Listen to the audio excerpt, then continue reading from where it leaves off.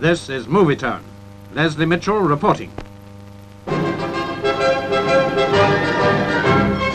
Here's a model of the Martlet space shell fired recently in Barbados as part of Canada's McGill University High Altitude Research Program.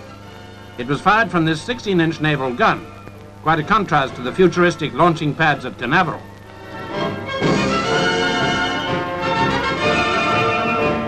Let's hope he finishes before they fire the 470-pound missile, otherwise he'll be the first man without pants in outer space.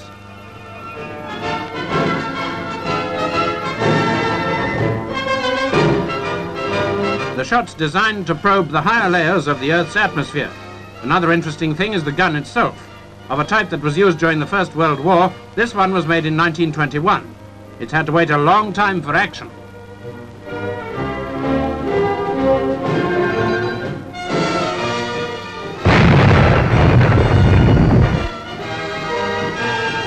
A veteran taking part in the space age.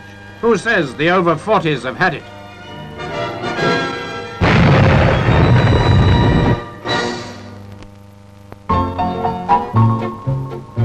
Meet Australia's mother.